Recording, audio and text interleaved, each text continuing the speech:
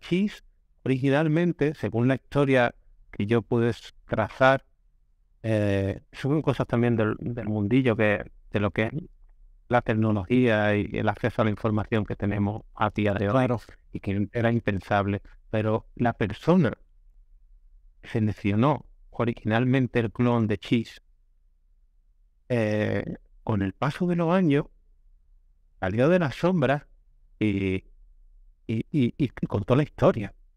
Vio lo que había pasado y no se lo podía imaginar. No se podía imaginar porque él seguía cultivando su clon de Cheese en su casa en el condado de un condado británico, no me acuerdo cómo se llama. Worcestershire, no sé, no me acuerdo ahora, era una historia fenomenal. El caso es que el tío pues cultivó siempre esa planta y no se la daba a nadie. Cuando le daba el clon a alguien era sabiendo que no, que no, la, que no la iba a, seguir cultivando, sino que le iba a poner un cultivo y ya está. Y así fue como llegó al, colectivo Exodus, un colectivo allí que había en el Reino Unido de, arte, cultura, comunidades así, digamos, alternativas. Qué guay. Y ellos fueron los primeros que la conservaron y de ahí dio el salto a Holanda. El salto a Holanda le llegó a Homegrown Fantasy, la presentaron a la Cannabis Cup para, yo qué sé, 15 o 20 años, y ganó y tal y cual. Y ahí empezó la historia de la chis a nivel global. Total, que todo ese desarrollo, este hombre vivía ajeno a eso, no sabía que eso pasaba. Y cuando un día empezó a funcionar con internet y tal, se dio cuenta de que la chis, de que la, la planta que él había, que llevaba cultivando 25 años en su casa, que solo la tenía él, Pobre hombre, ostras.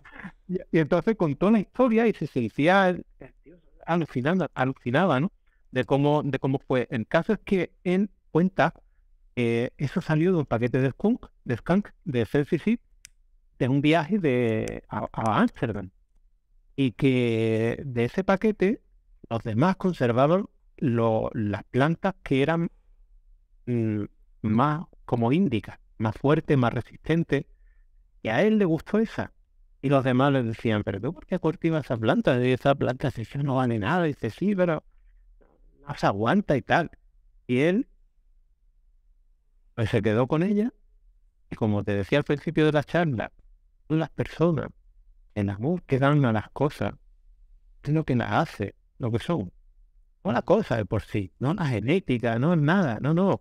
Es esa relación tan íntima que se establece a nivel privado, en la casa de alguien, en su entorno privado, con su planta, lo que empieza a dotarle de esa energía que acaba dando la vuelta al mundo y convirtiéndose en algo que nos supera a nosotros mismos y que trasciende el tiempo, trasciende el tiempo y el espacio. De pronto esa persona se encuentra 25 años después porque su planta salió de su casa un día y ha dado una vuelta al mundo y sigue ahí y se ha convertido en un referente entonces, como te digo, es algo que los valores van como que quedan impresos. Es lo que ocurre cuando trabajas con algo que está vivo. Es, imposible que no transmitirle lo que eres como una mascota. Hace un reflejo de ti. Pues igual.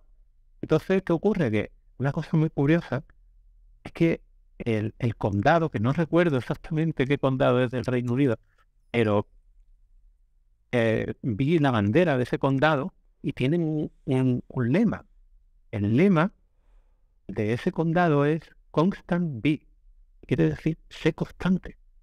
Es decir, ese, esa persona, ese que es, digamos, el, el, lema de su cultura local, lo llevó a ello. Eh, eh cultivar esa planta, fue constante, fue constante, lo aplicó y eso lo, lo, lo trasladó a, esa planta de manera que ha acabado pues teniendo la repercusión mundial que ha tenido dentro del mundillo de jornálico, porque es innegable, porque ah, sí, es una planta que obviamente, bueno, yo sigo, vamos, te voy a decir, hace dos días, antes de ayer, sí, creo que sí, antes de ayer, ayer antes de ayer, estuve en, una tienda de cultivo y le pregunté al dueño, es cliente nuestro, ¿no? Entonces, pues tratamos así en persona y tal, y mm, hacía mucho tiempo que no lo veía. Y me dije, y le dije, bueno, ¿y qué te ha estado, qué está gustando así últimamente, no?